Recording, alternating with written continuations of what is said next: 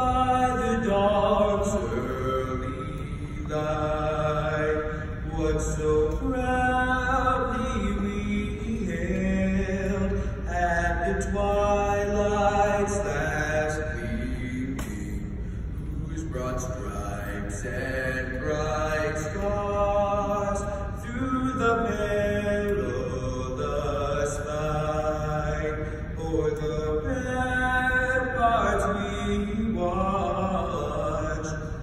so gallantly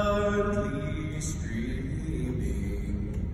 and the rocket's red glare, the bombs bursting in air, gave proof through the